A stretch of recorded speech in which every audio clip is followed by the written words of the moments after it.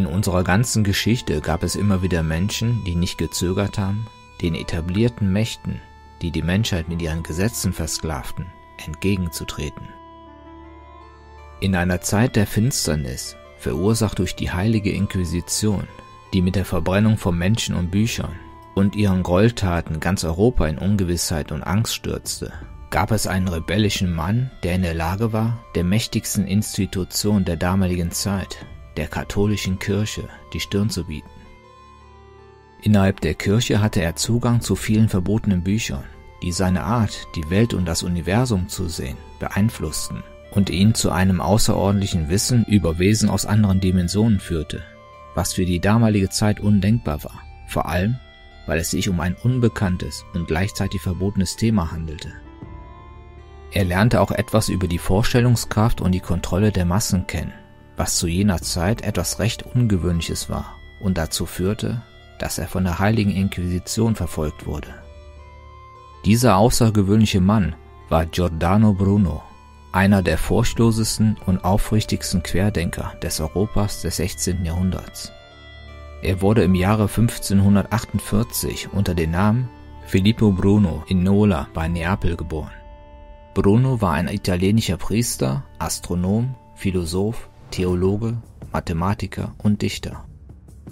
1565 trat er im Alter von 17 Jahren in den Dominikanerorden in das Kloster San Domenico Maggiore in Neapel ein und erhielt den Ordensnamen Giordano.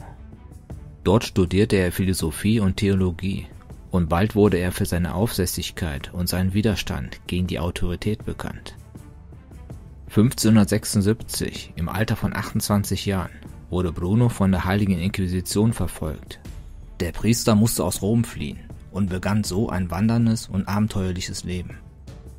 Er reiste durch Norditalien. Manchmal musste er in schmutzigen, rattenverseuchten Unterkünften schlafen. Und um zu überleben, unterrichtete er die Kinder der Reichen über Astronomie. Nachdem Bruno einige Zeit in Genf, Lyon und Toulouse verbracht hatte, ging er nach Paris und beeindruckte dort den französischen König Heinrich III. mit seiner Gedächtniskunst. Er hatte ein Konzept entwickelt, mit welchem er durch abstrakte Symbole sehr lange Texte auswendig lernen konnte. Danach zog er weiter nach London und später nach Deutschland. Er war 16 Jahre auf Wanderschaft, praktisch quer durch ganz Europa, und das zu einer Zeit, in der Reisen ein Abenteuer war. 1591 erhielt Bruno eine Einladung des Adligen aus Venedig, Giovanni Moncenigo. Er wollte von ihm in der Gedächtniskunst unterrichtet werden und versprach, im Gegenzug sein Beschützer zu sein. Der Mönch nahm die Einladung an und so kehrte er nach Italien zurück. Obwohl Bruno von seinen Freunden vor dem Risiko gewarnt wurde, welches er bei seiner Rückkehr in die Heimat einging, zögerte er nicht und kehrte Ende 1591 nach Venedig zurück. Aber die Einladung war eine Täuschung. Giovanni Moncenigo arbeitete für die Inquisition und bevor er ihn denunzierte, wollte er von Bruno auch über Magie und das Manipulieren von Menschen unterrichtet werden. Er wollte unter anderem wissen, wie man ihren freien Willen unterdrückt. Bruno lehnte das ab und wurde verhaftet.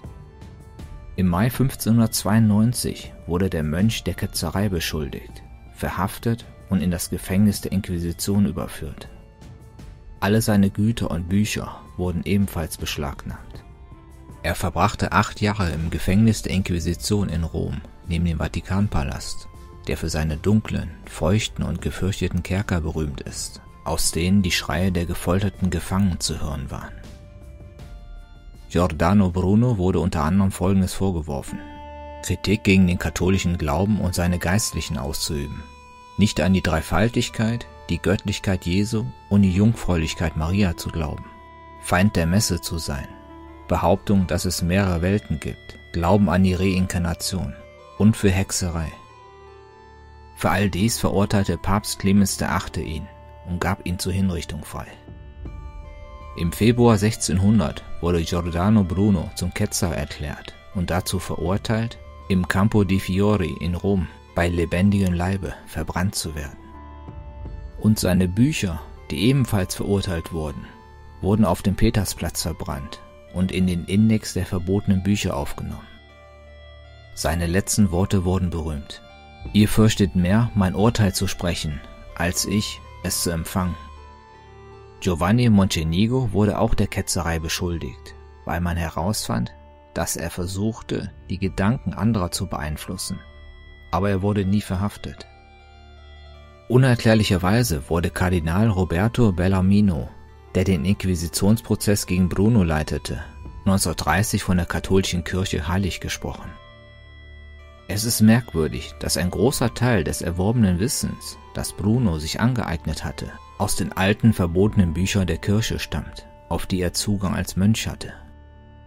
Seine revolutionären Ideen standen in einer Welt, die in Unwissenheit versunken war und widersprachen denen, die von der katholischen Lehre aufgezwungen wurden. Bruno postulierte, dass die Sonne auch ein Stern sei, dass das Universum unendlich ist und dass es eine unendliche Anzahl von Welten gebe, die von Tieren und intelligenten Wesen bewohnt sind. Er weigerte sich, Heiligenbilder in seiner Zelle zu haben und akzeptierte nur das Kruzifix. Er war davon überzeugt, dass das Christentum eine Lüge sei und dass die Päpste und die hohen christlichen Amtsträger nutzlose, fanatische, unehrenhafte Männer seien, die vom bösen Genies inspiriert seien und keine Fantasien hätten. Bruno zufolge ist die Menschheit von ihrer göttlichen Seite abgekoppelt, weil eine bösartige Lehre die Kommunikation mit dem Göttlichen unmöglich macht. Im theologischen Bereich unterschied er sich auch sehr von der Kirche, da für ihn sowohl das Universum als auch die Natur Gott war. Er glaubte, dass die Erde und das Universum intelligente Wesen seien. Natürlich schockierten diese revolutionären Theorien seine Vorgesetzten. Bei seiner Wanderschaft durch die europäischen Universitäten stellte er fest, dass die Dozenten den Studenten ihre Kriterien auferlegten und sie akzeptierten sie kurzerhand mit einer eher konformistischen Haltung. Giordano Bono war dagegen und wollte das Unterrichtsmodell revolutionieren. Er sagte, dass der Schüler seine Passivität verlassen und am Unterricht teilnehmen sollte und alles, was dort gesagt wurde, reflektieren, debattieren und hinterfragen müsse. Dieser Philosoph verteidigte die Existenz eines endlosen Universums und unendlicher bewohnter Welten gegen die von der Kirche postulierte Idee der Schöpfung. Er dachte, dass es in dieser Welt keine Realität gibt, die nicht einen Geist und eine Intelligenz hat. Er glaubte, dass wir ewig sind, dass wir vor und nach dieser Welt existieren und dass, wenn ein Mensch stirbt, seine Seele in einen anderen Körper übergeht. Er argumentierte, dass die Erde ein intelligentes Wesen mit Gefühlen und einer Seele sei. Er postulierte, dass die Seele einmal als Mensch und dann wieder als Tier verkörpert werden kann. Er war auch davon überzeugt, dass der Körper das Gefängnis des Geistes sei. Für ihn war Christus nicht der Sohn Gottes, sondern ein außergewöhnlich geschickter Magier. Aber es war seine Vorliebe für die Magie, die ihm eine lange Liste von Anschuldigungen bescherte. Laut Bruno gibt es drei Realitätsebenen. Die Fantasie, die göttliche Welt und die materielle Welt. Und dass es der Geist ist, der die Seele und den Körper verbindet. Für den Magier war die Vorstellungskraft oder Fantasie sehr mächtig. Er war davon überzeugt, dass sie der Schlüssel sei, um ein lebendiges Wesen zu erreichen. Seinen Schriften zufolge kann der Magier Objekte, Individuen und Gesellschaften beeinflussen. Am schockierendsten dabei ist jedoch die Gegenwart unsichtbarer Wesen, Helden und Dämonen. Letztere nannten die Gnostiker Arkonten. Heute sind sie als außerirdische oder überdimensionale Wesen bekannt.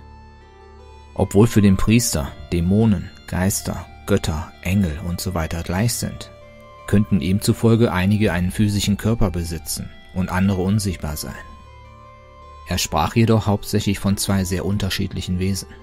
Den niederen Dämonen, die durch Gegenstände und Symbole beschworen und geordnet werden konnten, und den höheren Dämonen, deren Geister sich in Statuen befinden könnten, die verehrt wurden. Es wurden Gebete, Opfer aller Art und Zeremonien zu Ehren von Göttern, Dämonen und Helden abgehalten.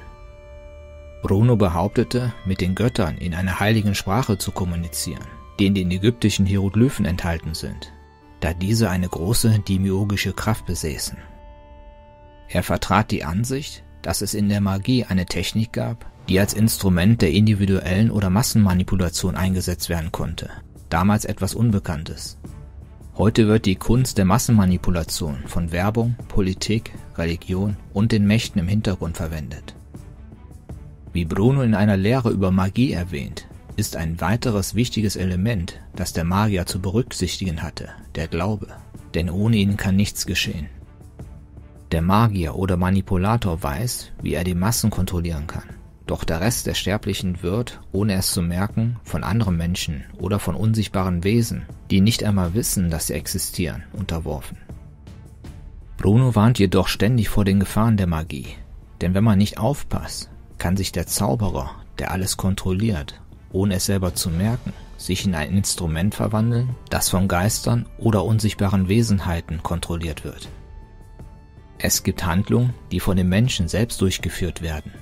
Es gibt jedoch auch viele andere Handlungen, die durch andere Menschen, die Magie ausüben oder durch Dämonen induziert werden. Deshalb war die Kunst der Manipulation für Bruno so wichtig, damit niemand unser Leben lenkt und wir selber diejenigen sind, die es wirklich kontrollieren und nicht die Dämonen oder andere böse Zauberer, die versuchen, die Menschheit zu lenken und zu kontrollieren. Der Priester hatte viele Anhänger, die seine Überzeugung unterstützten, dass die katholische Kirche eine Lüge sei und die Religion das beste Instrument für die Manipulation der Massen sei. Dies erschreckte die Institution natürlich sehr, was diesen Mann nicht nur verurteilte, sondern auch alle verfolgte, die ihn unterstützten. Zwei Jahrhunderte später, 1889, wurde zu seinen Ehren an derselben Stelle, an der Giordano Bruno verbrannt wurde, eine Statue errichtet. Heute symbolisiert sein Denkmal die Gedankenfreiheit und die Verurteilung des religiösen Fanatismus. Giordano Bruno mag gestorben sein, aber sein Glaube und seine Werke leben weiter.